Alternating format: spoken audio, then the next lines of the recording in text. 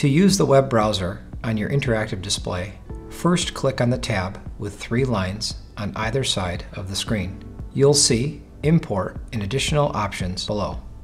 From here, select Internet to open the built-in browser. You can use the browser to navigate web pages, play YouTube videos, and sign in and open files from Google Drive or Office 365. You can even save bookmarks to your interactive display for future reference.